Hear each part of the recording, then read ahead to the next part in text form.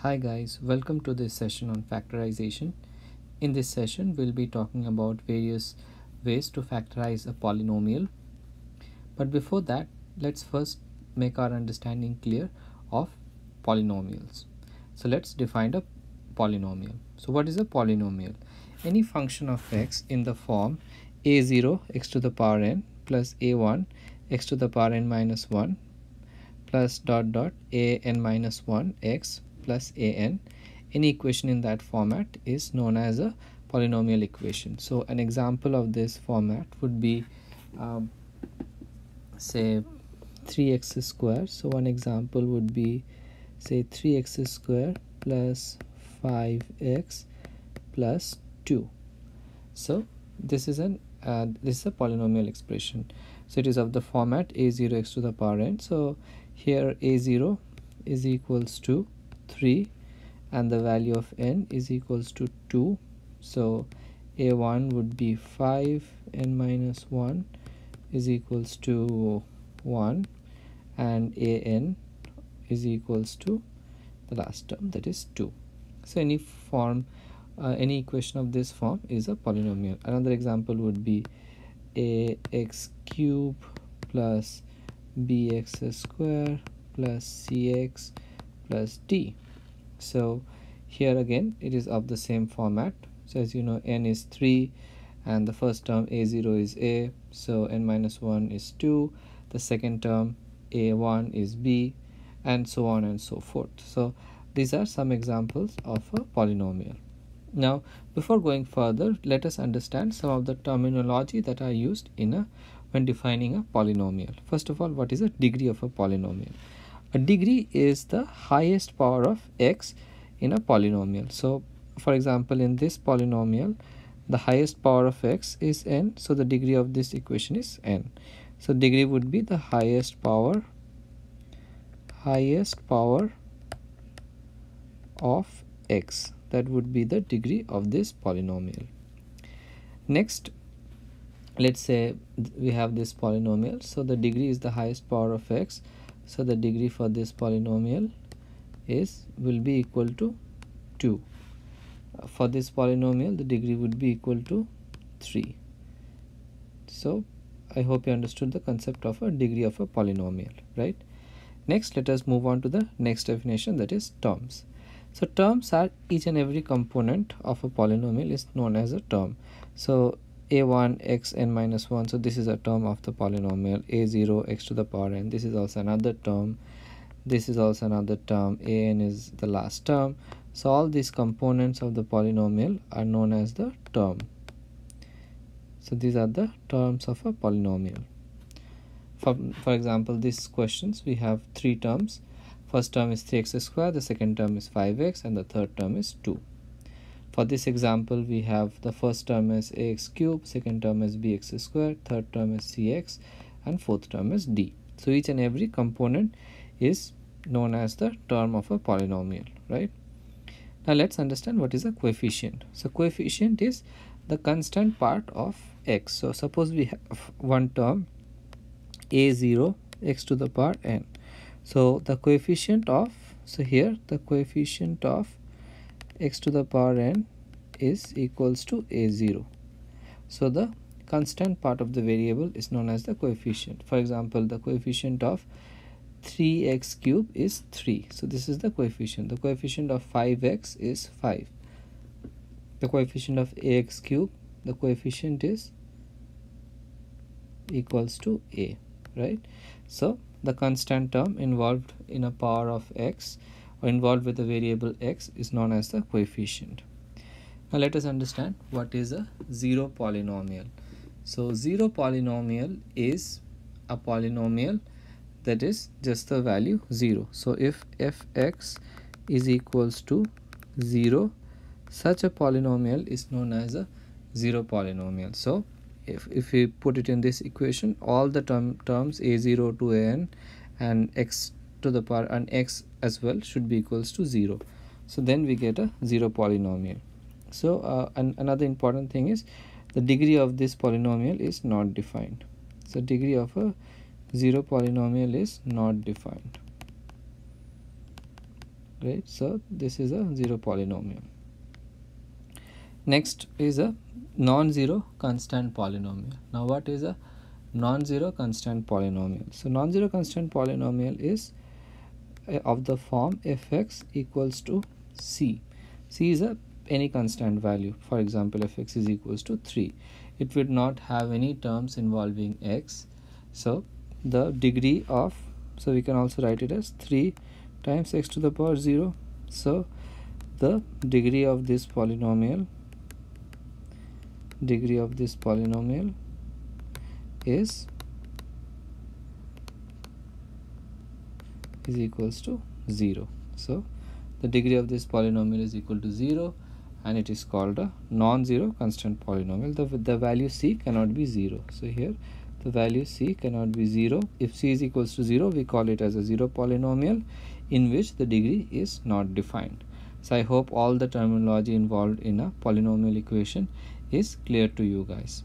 So with this understanding let's move on now let us understand some of the common polynomials that are used and how to find the degree of a polynomial. So in the, in the previous slide we already discussed how to uh, find a degree of a polynomial. Here we'll give some illustrative examples.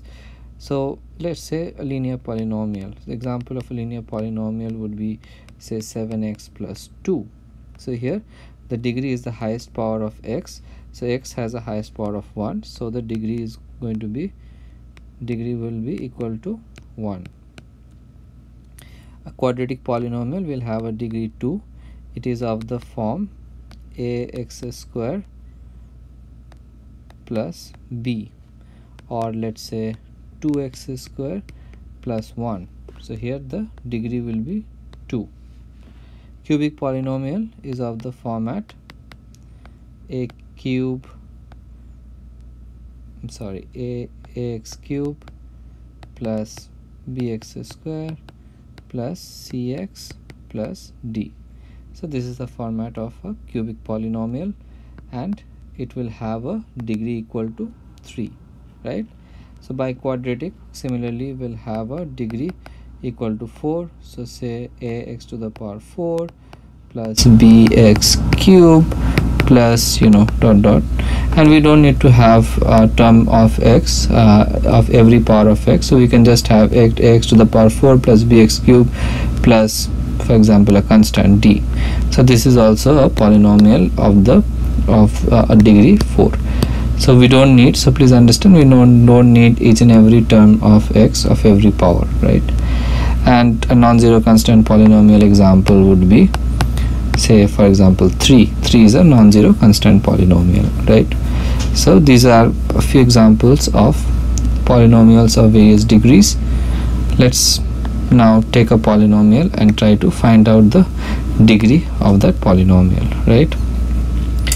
So but before that let's talk about polynomial equation. So what is a polynomial equation a polynomial equation is whenever we have a polynomial and we equate that to 0 so for example let's say we have 3x square plus 4x uh, 3x square plus 4x plus 5 so whenever we equate that to 0 we get uh, so whenever we equate that to 0 so let's say we have uh,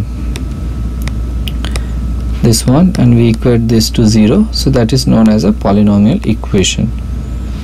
It is of the format fx is equals to 0 so so like like it's written a general form of a polynomial equation will be this one and if it's of the format fx is equals to 0 then it's called a polynomial of degree n. Here degree n is the highest power of x. Here it will be a polynomial equation of degree 2 because the highest power of x here would be 2 now let's find the degree of various polynomials. So here we have a polynomial equation and here the highest power of x is 2 so this is a polynomial equation of degree 2 similarly in this equation we have the highest power of x as 3 so this is a polynomial equation of degree 3 and if it is of the format fx is equals to 0 it's also of the format fx is equals to 0 so such a equation is known as a polynomial equation. And we are now i hope you guys are now comfortable in finding the degree of a given polynomial equation so with this understanding let's move on. So now understand how we equate two polynomials. Let's say we have the condition fx is equals to gx and these two polynomials are of same degree. They has to be of same degree. If we equate them they has to be of same degree. So if we are given such a condition so each and every term of this polynomial should be equal.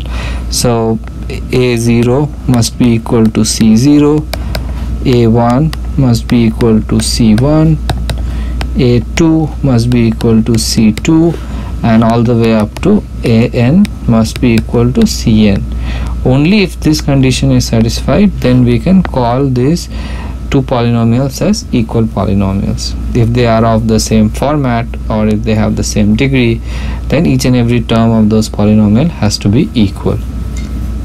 Right? Now let's understand how do we divide a polynomial.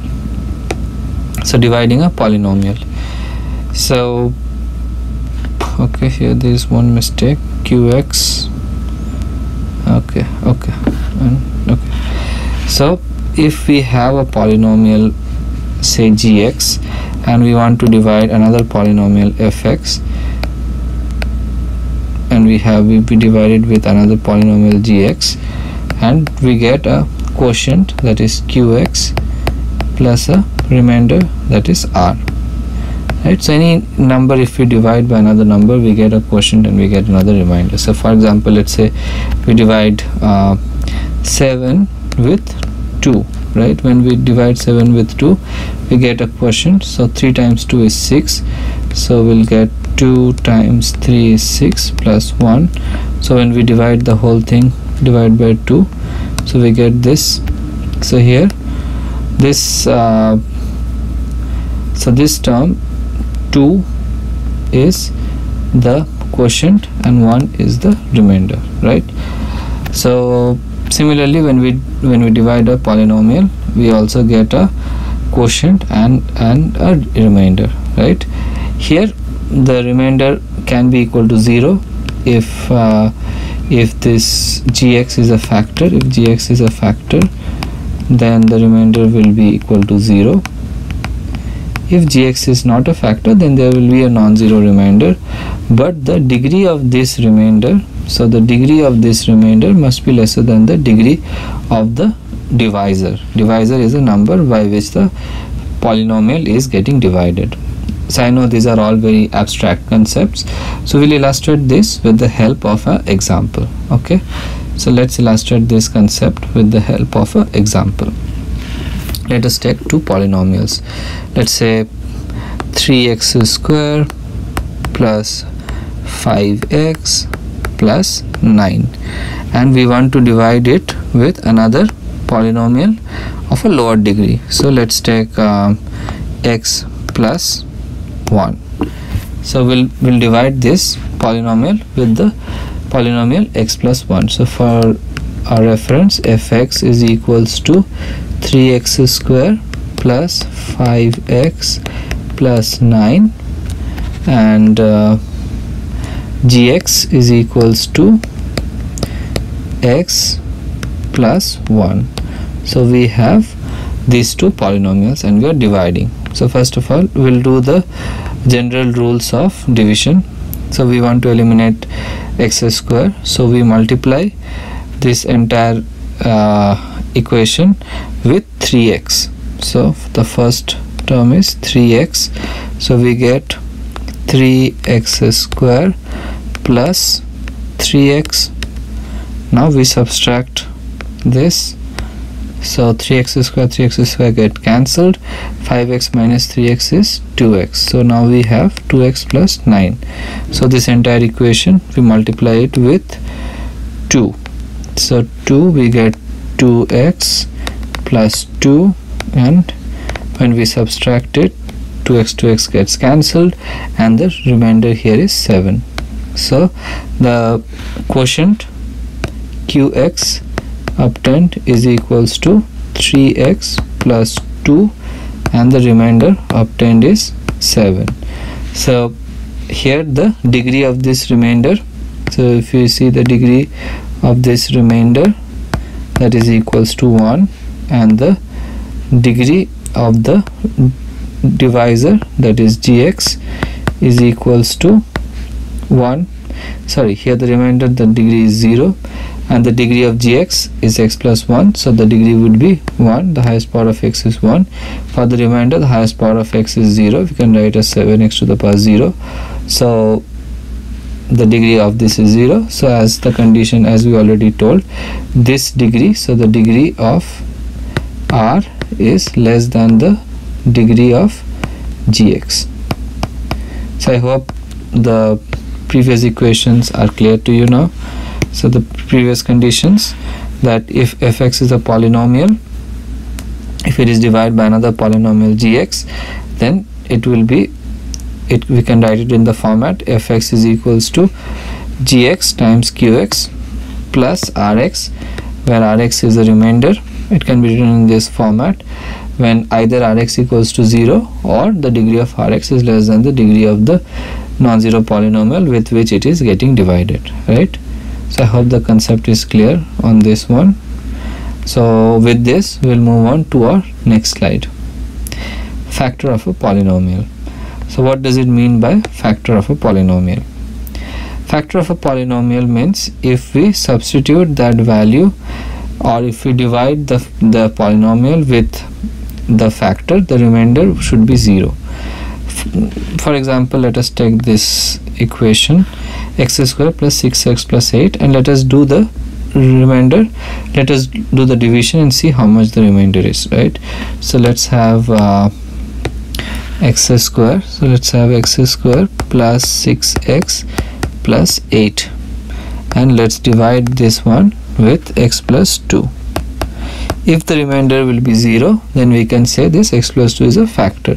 So let's try that. So let's multiply x plus 2 with x. So we get x here and we get here x square plus 2x so we subtract this. This part gets cancelled. We have 4x plus 8 now we multiply the divisor with 4 x plus 4 so we get 4 times x is 4x and 2 times 4 is 8 so we have 4x plus 8 so if we subtract it we get 0 so here the remainder remainder is equals to 0 so we can say that x plus 2 so x plus 2 is a factor of factor of x square plus 6x plus 8 so whenever a polynomial will divide another polynomial so that polynomial or the divisor is going to be the factor of the polynomial which it divides. So i hope this is clear to you. So let's read the definition one time.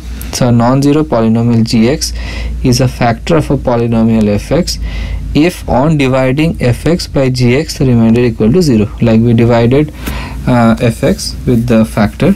So I've listed uh, two polynomials with, given factors. When I divided this polynomial with this then the remainder became 0 so we could say that this is a factor of this one. Similarly here we have a cubic equation cubic polynomial. When we divide by x minus 3 we get the remainder as 0 so we can call x minus 3 as a factor of that polynomial. Okay? I hope uh, this is also clear to you. So we'll move on to our next segment value of a polynomial right? How to determine a value of a polynomial at a constant value. Let's say we have a polynomial of the format 3x square plus x plus 1 let's say we have this polynomial and we are asked to find f of 1 so the value of a polynomial at any constant value is if we substitute the value of x with that constant value. For example if we have this so we can substitute x as 1 so 3 times 1 square plus 1 plus 1 so 3 times 1 square is 3 plus 1 plus 1 3 plus 2 which is equals to 5 what would be f2 f2 if we substitute x with 2 so 3 times 2 square. 2 square is 4 4 times 3 is 12 plus x in place of x we put 2 so 12 plus 2 and we have the constant term which is not dependent on x. So that will remain the same. So 12 plus 2 14 plus 1 15 so f2 equals to 15 similarly f3 same thing. We substitute x with 3 so 3 times 3 square 3 times 3 square plus 3 plus 1 so 3 times 3 square is 27 plus 3 is 30 plus 1 31 so f3 is 31 so very simple if we substitute x with that constant value we'll get the value of the polynomial at that constant value. So if we have fx equals to this polynomial then whichever value we substitute for x we get the value for that particular value. Right okay so let's move on to the next concept. Roots of a polynomial. So we, we, we talked about factors of a polynomial. So basically the concept of root is whenever we substitute that value into the polynomial the polynomial should yield a zero value. Then we'll call that as a root of the polynomial so root and factors are very closely related. So suppose we talked about value right? So suppose if we have these uh, polynomial let's say we have this polynomial this polynomial is of the format x square plus 6x plus 8 so here it is of the format this. So here if we substitute x equals to minus 2 so let's uh, have this polynomial here. So x square plus 6x plus 8 so here if we substitute so here we know that x plus 2 is a factor of this. So if we substitute x equals to minus 2 in this equation the resultant should be 0 if that is the case then this this minus 2 is a factor of this polynomial. Let's substitute minus 2 here. So minus 2 square is so minus 2 whole square plus 6 times minus 2 plus 8 so let's see how much this yields.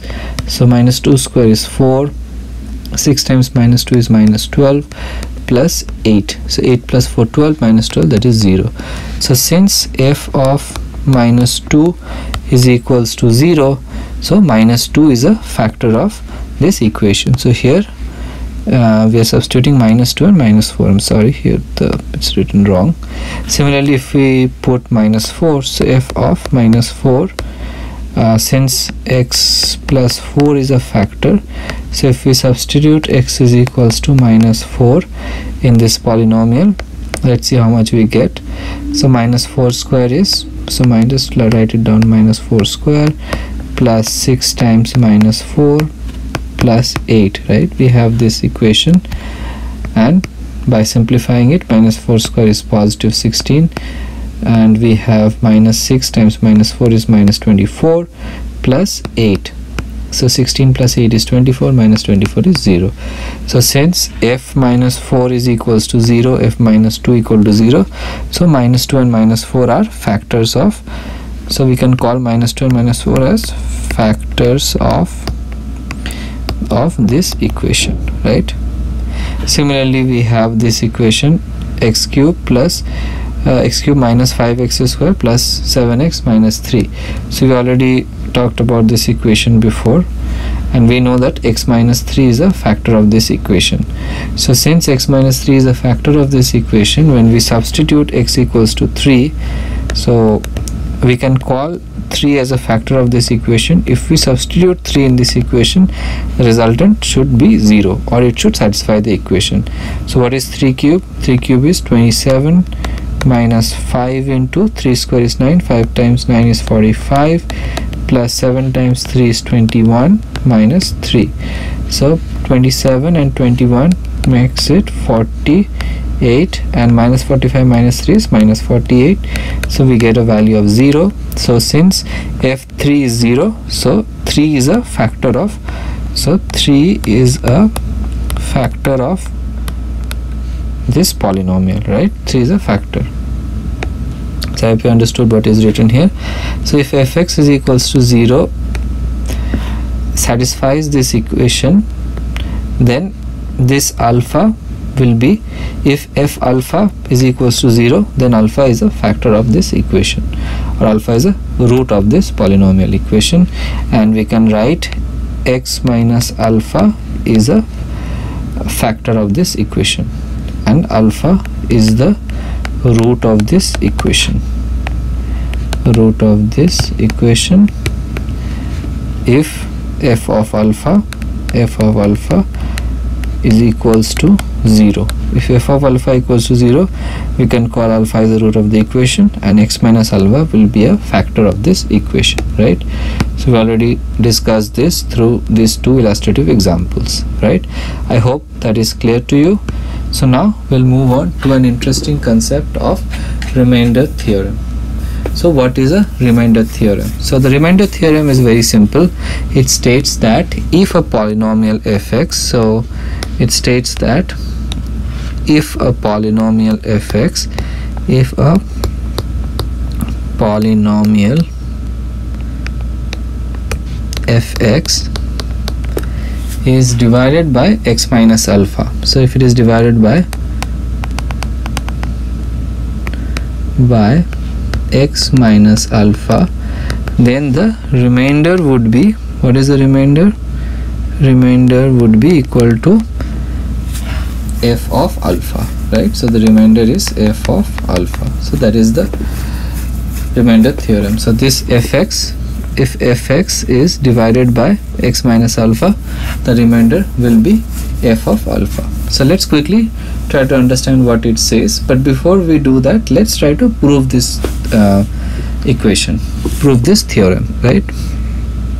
So for example if we have this polynomial fx. Let's say it, it can be any polynomial of the format x to the power n plus x to the power n minus 1 and you know of that format right? A to the power a0 x to the power n plus a1 x to the power n minus 1 and so on and so forth. Let it be any polynomial equation right? So if we divide it with uh, with x minus alpha then we'll get a quotient and we get a remainder right? So we'll write it in that format. So if we divide it with x minus alpha we get a quotient x minus alpha we get a quotient that is qx and we get some remainder. So if it is a factor this remainder may be 0 if it's not a factor the remainder may not be 0 but we can get some something of this format right? Now let's substitute alpha in this equation. So if we substitute alpha in this equation f of alpha what do we get? So this x minus alpha becomes in place of x we will substitute alpha. So alpha minus alpha times qx plus r. So basically alpha minus alpha times qx is 0 and f of alpha is the remainder so that is what we already said. So if a polynomial fx is divided by x minus alpha the remainder will be equal to f of alpha. So this is what we can prove from this simple equation right? So now there are two corollary of this equation. Let us try to prove that. Again very simple and very much related to what we already said. So the corollary is if the uh, if fx is divided by x plus alpha if fx is divided by x plus alpha then the remainder is equals to so the remainder remainder will be is equals to f of minus alpha. Right? That is what is the corollary 1 so we'll call it as a corollary 1 right that is a sub part of the theorem. It's not the main theorem but this is also an important thing that in or important shortcut then you can that you can use in your uh, you know problems that you are going to solve it right? So x plus alpha. So x plus alpha can be written in that format x minus of minus alpha. We can write x plus alpha in this format x minus of minus alpha so when we divide the polynomial with x minus minus alpha we can write the polynomial in the same format that we wrote previously is x minus of minus alpha times uh, gx or qx that is the quotient plus some remainder which may or may not be 0 based on the um, whether it is a factor or not. So now if we put f of minus alpha here so here again we will get minus alpha minus of minus alpha times qx plus the remainder right? So again minus of minus alpha minus this if we simplify it so we get minus alpha minus of minus alpha is a plus alpha times qx plus r right? So times qx plus r. So again it's the same thing because this part is becoming zero so it's going to be the remainder. So now we got the proof. So f of minus alpha is the remainder. So when x is or when the fx so when fx is divided by x plus alpha then the remainder is f of minus alpha right so i hope this part is clear to you. We have another corollary next. so we'll